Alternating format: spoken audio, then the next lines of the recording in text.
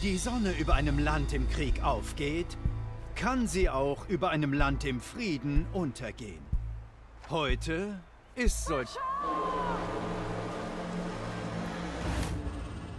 Hört, Marschälle! Die ihr tenackt sein wollt! Regala. Häuptling Hilkaros größter Fehler. Diese Rivalen verschonte er. Vergesst ihr, dass unser Volk im Blut geboren wurde? Im Blut der Kaja! Doch ihr schenkt eure Speere einem Häuptling, der mit dem Feind paktiert. Hekaro hat uns verraten. Die Gesandtschaft beweist es. Und ihr Marschälle seid seine Komplizen. Dafür habt ihr den Tod verdient. Es braucht mehr als zahnlose Drohungen für uns, Verbannte.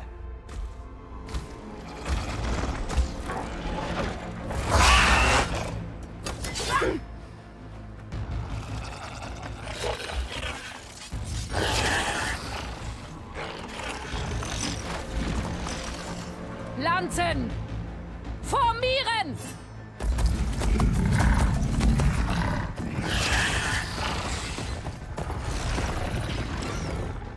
Sie reiten Maschinen. Wo haben Sie das gelernt? Silence. Verschaff! Komm jetzt mit uns! Oder gar nicht! Schützen! Heizt ihnen ein!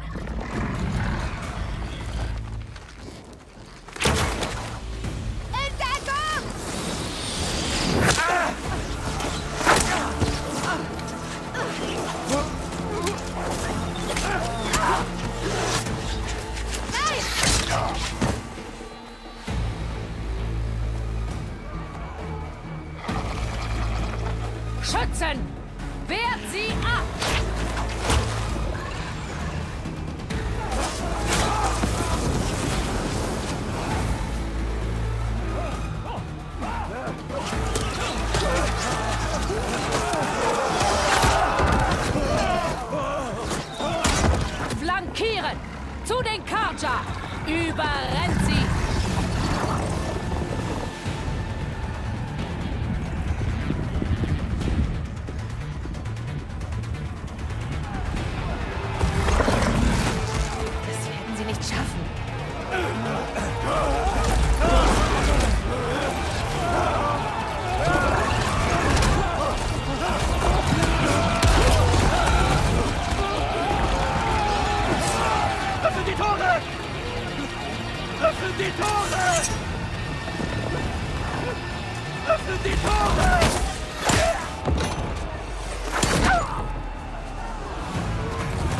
Kaja! Gib nicht nach! Los, Feuer frei! Ich sehe kein Ziel!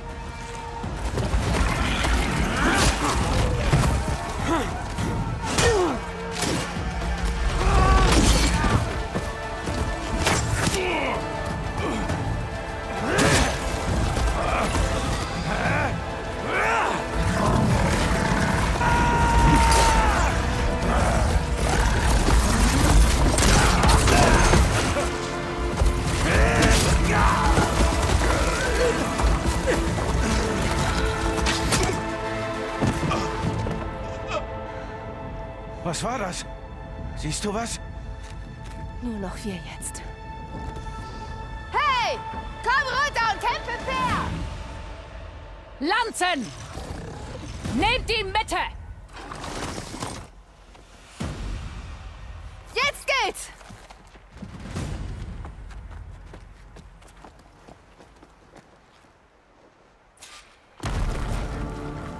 Bleibt in Deckung! Schützen auf dem Felsgrat!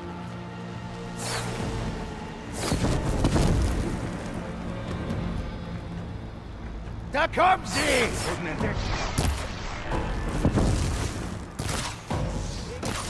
Steh auf!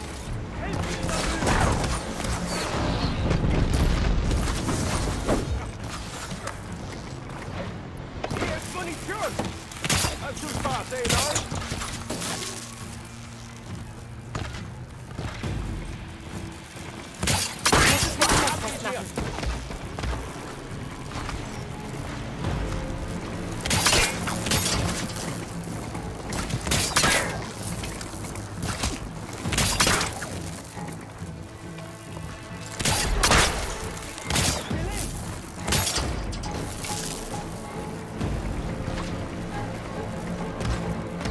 Sie alle! Einer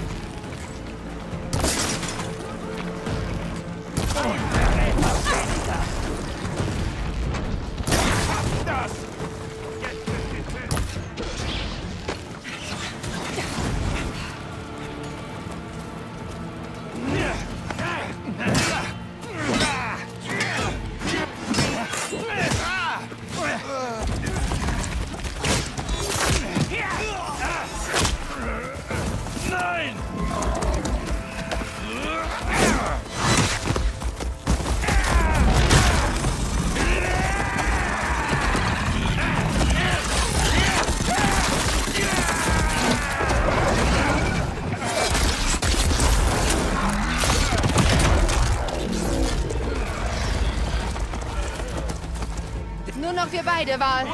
Wir packen das!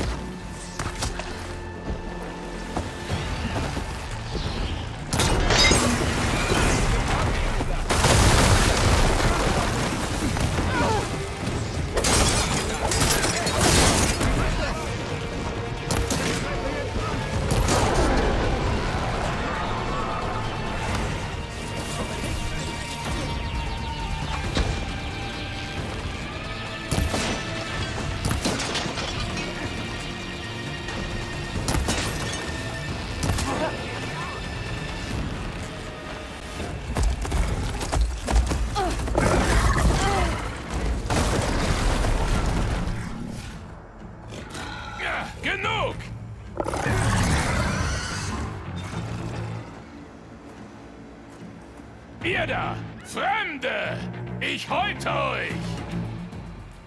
Häuptling, gewährt mir die Ehre des Vortritts.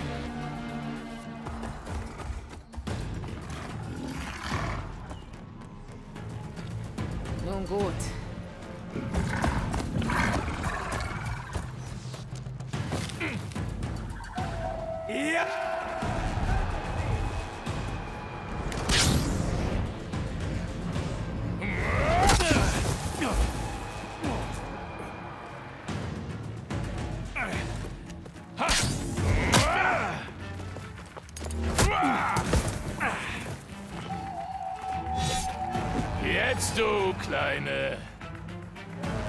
Schild habe ich noch nie gesehen. Ich sollte scannen.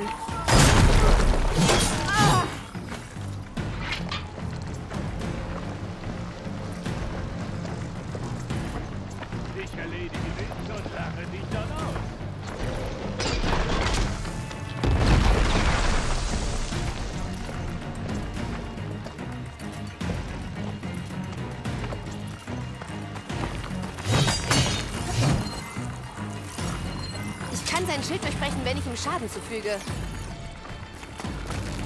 So, das ist meine Chance.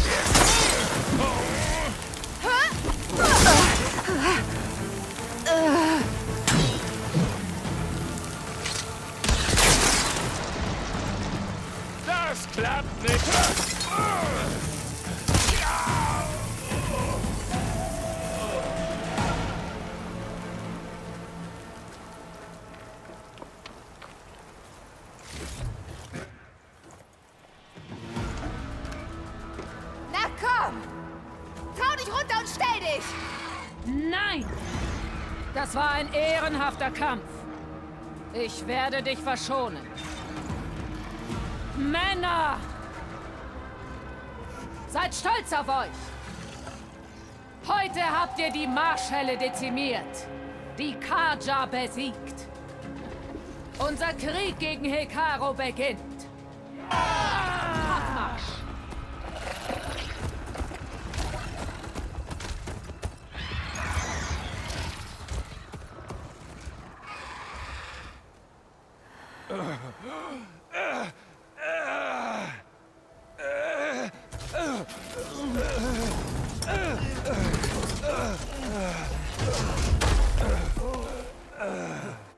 Schaff ihn ins Lager. Los! Wirst du es schaffen? Du ziehst ohne mich weiter, nicht wahr? Dann bleibt mir wohl nur errennt. Vorerst. Los, komm. Ich bring dich zur Festung.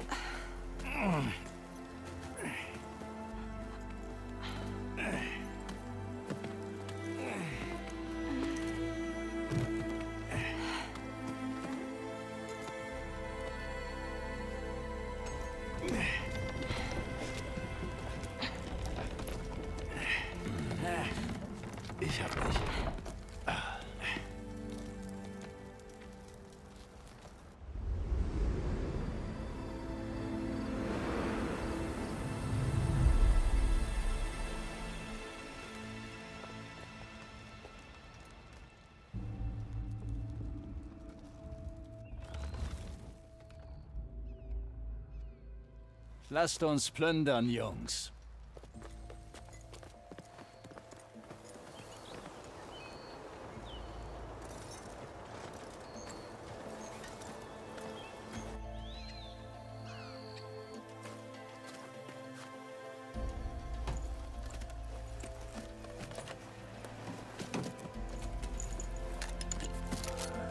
Das hält wohl nicht viel aus.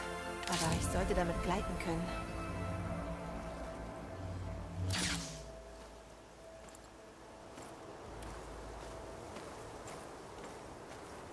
Aloy.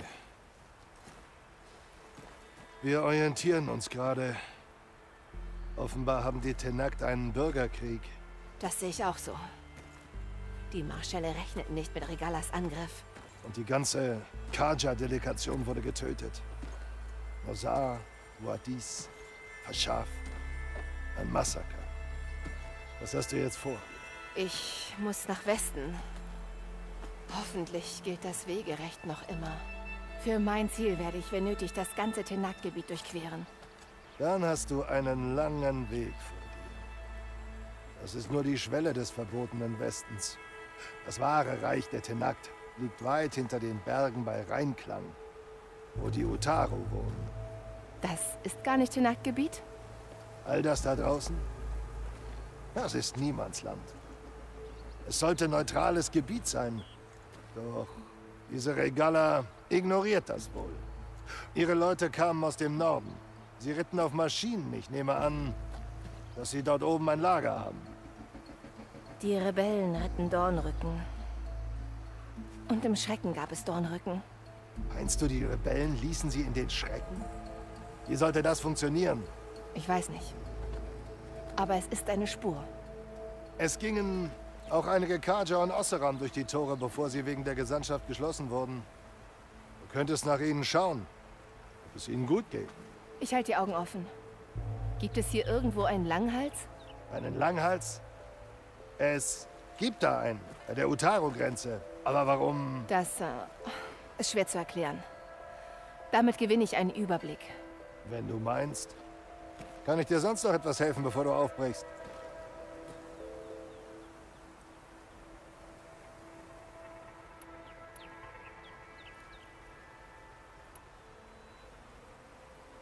Du meintest, es wären noch andere durch die Tore gegangen. Wer denn? Also nicht nur die Plünderer, die gerade durchgegangen sind, auch andere Gruppen von Osseram-Stöberern. Zwei Kaja-Gelehrte sind mit einem Osseram-Trupp nach Südwesten. Weiß nicht, ob das besonders tapfer ist oder einfach nur dumm. Das Gebiet ist Niemandsland?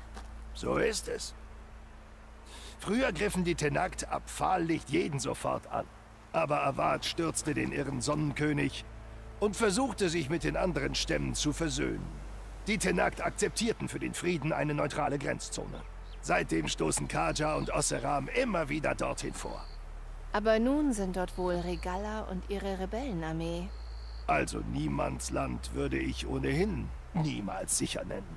Die alten Ruinen im Südwesten können das bezeugen. Reste eines vergessenen Krieges. Du hast die Utaru erwähnt. Ihr Land liegt zwischen hier und den Tenakt im Westen? Das stimmt. Sie wohnen in Reinklang. Ein friedlicher Haufen, verglichen mit den Tenakt. Sie sind mehr Bauern als Kämpfer.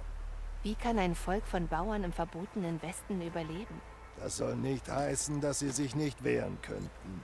Als die Kaja damals zurückgedrängt wurden, jagten ihre Krieger uns durch Reinklangs brennende Felder. Der Sonnenkönig machte ihnen diverse Friedensangebote. Sie lehnten ab. Warum? Ich dachte, sie sind so friedlich. Weiß nicht. Sie haben wohl ihre eigenen Probleme. Es mangelt ihnen an Nahrung. Allerdings versuchen sie nicht Handel zu treiben. Nein, sie wollen nur ihre Ruhe. Du sagtest, die Tenakt wohnen weit im Westen. Was wird mich auf dem Weg dorthin erwarten? Also, wie gesagt, es gibt da ein Stück Wildnis. Das ist Niemandsland und dann die Utaru-Farmlande. Und dahinter kommen die Tenakt. Ihr Gebiet ist auf drei Clans aufgeteilt. Wüste, Tiefland und Himmel. Ja, ich sah ihre Banner bei der Gesandtschaft. Am nächsten wohnt der Wüstenclan. Fieses Volk. Was für alle anderen unbewohnbares Ödland ist, ist für sie eine Herausforderung. Irgendwo jenseits der Wüste sind die Hauptstadt des Stamms und die Gebiete der anderen beiden Clans. Klingt nicht sehr genau. Ich kenne nur Geschichten. In den Roten Raubzügen wollte die Kaja-Armee in Tenakt-Gebiet eindringen. Aber die vereinten Clans stellten sich ihnen. Zwangen sie bis in den Schrecken zurück. Also wissen nur die Tenakt, was jenseits der Wüste wartet. Vielleicht noch die Gelehrten in Meridian. Irgendwas muss ja in den Schriftrollen stehen, oder?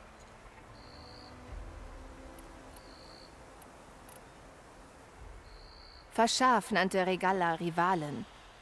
Der Tenakt-Häuptling hätte sie töten sollen. ja, das hätte er wohl. Sie ist eine große Gefahr. Ihr Angriff war koordiniert und präzise. Bis du ins Spiel gekommen bist. Sie kannten sich hier gut aus. Sie wussten, dass Verscharf bei der Gesandtschaft ausgehändigt werden sollte. Wenn die Tenakt nicht mit ihr rechneten, hat sie ihre Armee monatelang geheim aufgestellt. Sie müssen hier ein Lager haben. Dort hatten sie sich versteckt, bis die Zeit reif gewesen war. Wegen Verschaf. Er wurde von den Tenak gefangen genommen. Überlebte Jahre im Westen und starb kurz vor dem Sonnenreich. So sollten gute Männer nicht sterben. Er hatte noch so viel vor. Er wollte für Frieden zwischen den Karja und den Tenakt eintreten. Das wird jetzt nichts mehr. Was passiert jetzt mit ihm?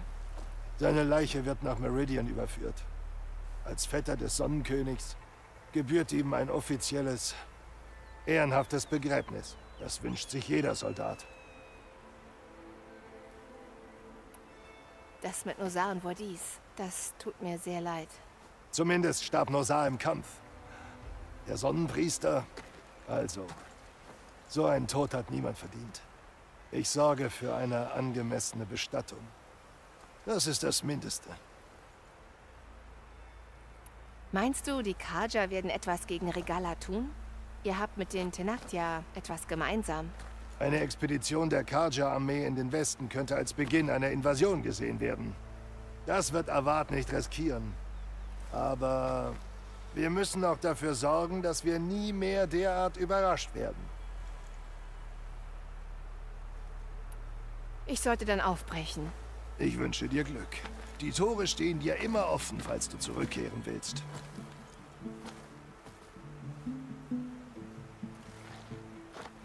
Und das mit deinen Freunden, die verarzten wir.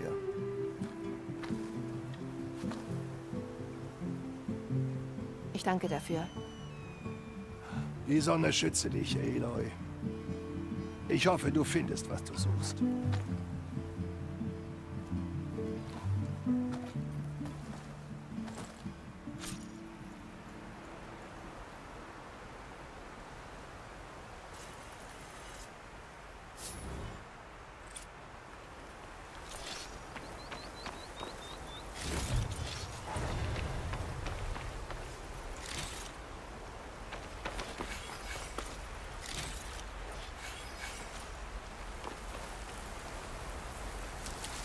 Mein Rucksack ist voll. Pack's in den Vorrat.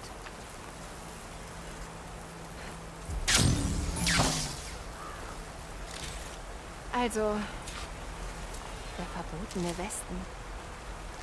Eine ganz neue Welt zum Entdecken.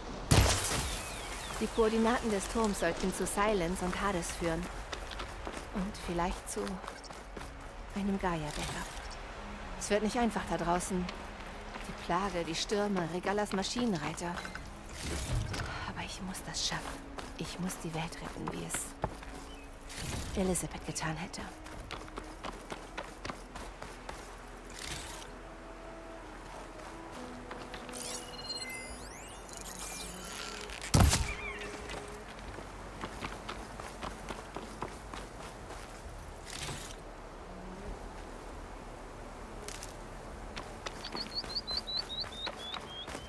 Die Anführerin des Hinterhalts, Regala, befehligte eine Menge Maschinen. Es gibt sonst nur einen Menschen, der über dieses Wissen verfügt. Silence. Aber was hat er vor? Warum hilft er Tenakt-Rebellen?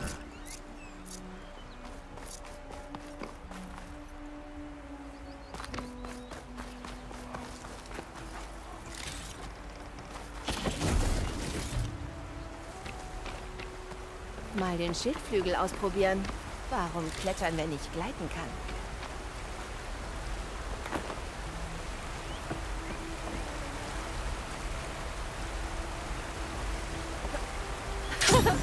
Hat geklappt. Wow, okay. Jetzt kann ich wohl von jeder Klippe springen.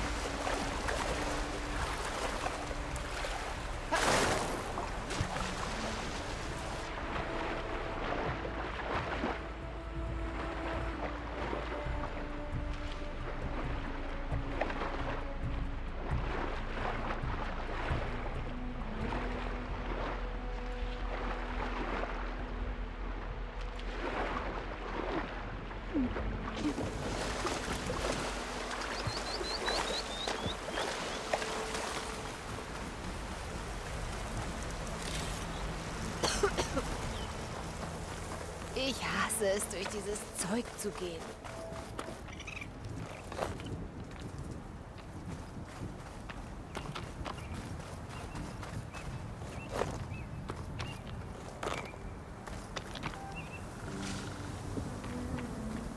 Die Plage breitet sich wohl auch hier aus.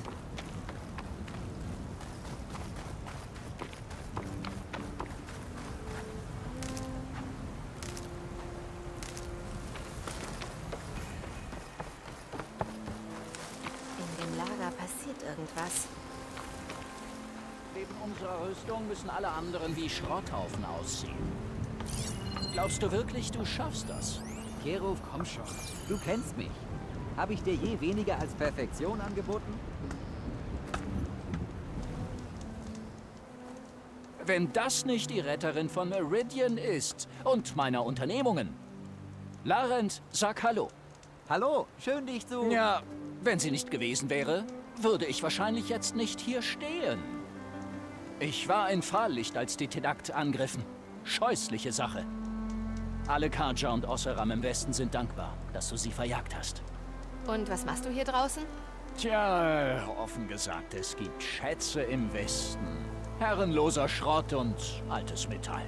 Und ich habe eine starke Truppe Plünderer, die das zu nutzen weiß. Wir kaufen dir jeden Schrott ab.